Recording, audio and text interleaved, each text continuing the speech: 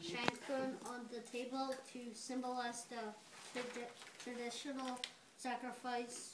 Good, you're right, sacrifice is good. Offering.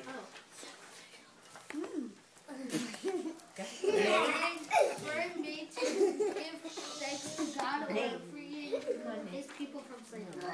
Okay, uh, and one more, what's this stuff? Poison. No, no, this. Oh, that. Uh, Ma- it's a mushy. It's, it's corrosive. Chlorosis, chlorosis. Carly's gonna tell us, Carly? that's, it's there. This mixture. This mixture of apples, nuts, cinnamon, and wine, there are many recipes, is on the plate to remind Jews of the mortar they used to make bricks during the endless building projects tradition says they are they engaged in Egypt. Okay, we're gonna tell the story, but one more, this stuff, it's the karpas, you can read that, cause then everybody's gonna do it. Remember this? So, JJ, who can read karpas?